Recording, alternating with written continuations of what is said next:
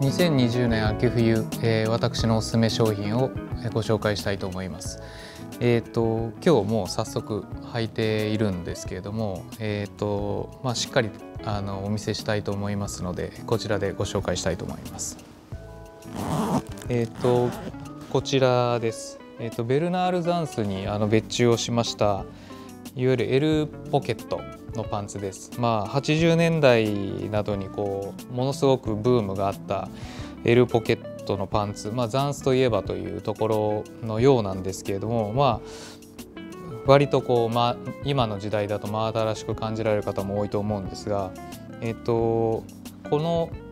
モデルは、えっと、実際こう某その今はもうなくなってしまったフランスのブランドがあるんですけれどもそちらが、えーと、ザンスベルナール・ザンスに依頼をして作らせたパンツを、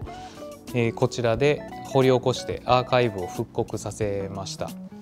で、まあ、完全別注品で当時のものは実際こういうキャバリーツイルに、えー、スウェード本当のスウェードを貼っているんですけれどもこちらはまあ選択の問題などもありましたので、えー、フェイクスウェードを貼っております。でこういうポケットの裏とかあと側傷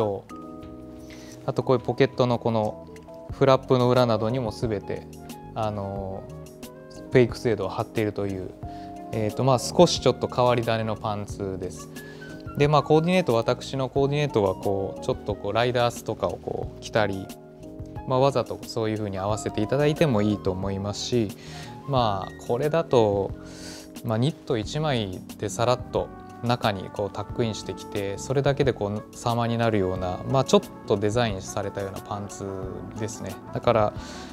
側傷が入っているので少しドレッシーな感じでシングルで仕上げていただいても様になりますし、わざとモーニングカットとかで合わせていただいてもすごく洒落たパンツだと思います、まあ、今シーズンの、えー、おすすめの一本です。